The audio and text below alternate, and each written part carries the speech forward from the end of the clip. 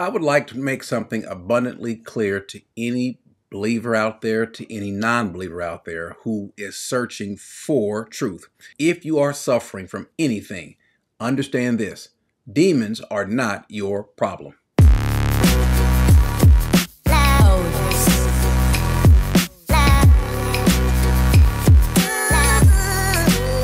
We have an overabundance of people speaking about demons, demonic oppression, who are even in many cases peddling that demon demon possession is the problem that many people have, and they want to have what's called this deliverance ministry. Instead, they don't focus on the true de- deliverance ministry. What I want to show is a couple things that cannot be refuted, and that is this. Did you ever notice that there is no demonic activity whereby someone is being called to have a demon cast out of them in the Old Testament? Have you noticed that there is not one example of a person having a demon cast out of them? Now, does God send um, evil spirits upon people and then remove the spirits? That's not what we're talking about. We're speaking of when someone has an evil spirit, a demonic possession, and then another person goes to them and casts a demon out. Either a prophet, either a king, some other man of God. We don't see that in the Old Testament. Now, I want you to think about why that is and let's move forward. We do see that when Jesus, through his incarnation, we see that show up and they speak about people having a demon. But now, the question is, what is the solution? Notice how often Jesus or any of the apostles speak of demons versus how often they speak of sin, how often they speak of what the solution is. And the solution is, in comparison to a demon being cast out, is vastly different. We'll notice that there are a few times in the Bible where the Bible speaks of a demon being cast out. We see that. Uh, that part is not to be minimized. However, the greater issue is what is the solution and what also is the problem. The problem with people is not a demon. The problem is their natural nature, the fact they are in the flesh even before sin entered the world. Think about this. Was it a demonic possession that caused Adam and Eve to sin? Well, there was a demonic presence, that, that being Satan, but it was not as though that the demon or that Satan entered them. All he really did was point out to Eve what she had thought in the first place. She says she thought that the fruit was desirous to her eyes.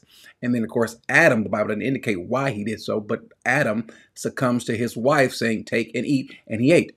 And then we see other people who have also sinned in the Old Testament who did not have a demon or under under some sort of demonic influence. They just sin. It's just what naturally happens to human beings. The Bible says that the heart is desperately wicked, or another version might say that he that the heart is sick. Well, what does that mean? We are like sheep. We go wayward from the moment that we leave the womb. We want to do all sorts of things and end up committing different types of sin. And so the issue is our flesh, our nature, and all any demonic influence is going to do is to try to exacerbate that to push us towards that. And so our issue isn't so much a demon or any demonic influence.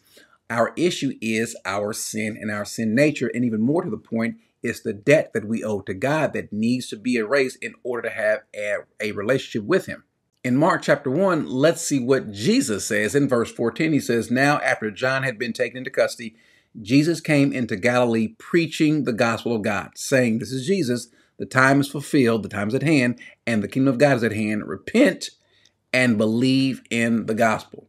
He did not say, he did not come preaching to everyone to have a demon cast out. If there was a demon uh, by someone or in some, if there was any sort of demonic presence when Jesus came around, now notice demons did not come to him.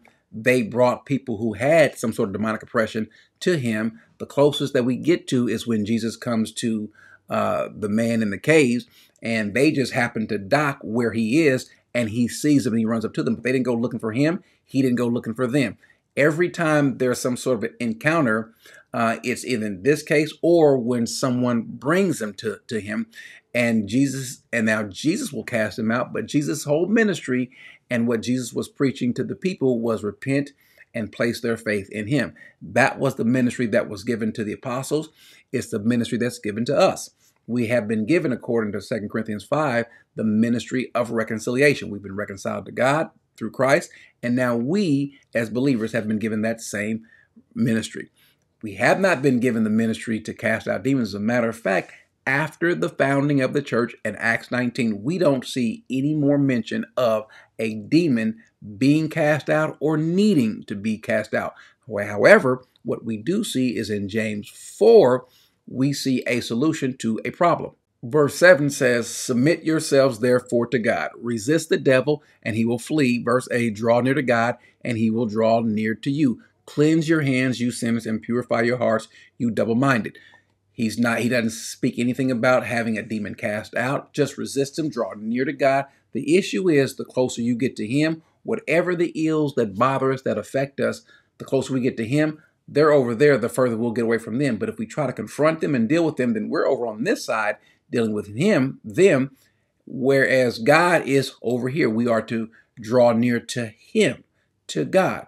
And then sin, by nature of our proximity to Christ, will be further away. And whenever someone asks what is the, the solution to the problems, what we're going through, just like we see in Acts chapter 16, when they're speaking to Paul and Silas the jailer says in verse 30, Sirs, what must I do to be saved? They said, Believe in the Lord Jesus and you will be saved, you and your household. And so the whole point, the whole issue is uh, having Christ in your heart. The issue that you may be struggling with, the issue, I don't care what it is, I don't care what the affliction is, I don't care if it's physical. I don't care if it's mental or emotional, financial, whatever it is, the issue is not a demon. The issue is your heart, your nature, and your relationship with God. Draw close to Him, and He will draw closer to you. In doing so, you will be resisting the evil one. Resist the devil. The Bible says, Lead us not into, into temptation, but deliver us from. And so the whole point is get closer to Him.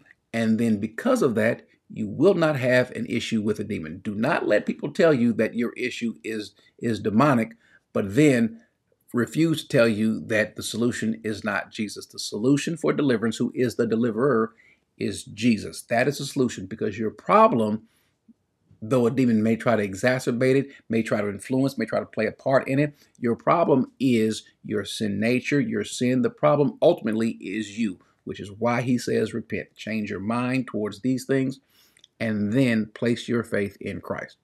Amen.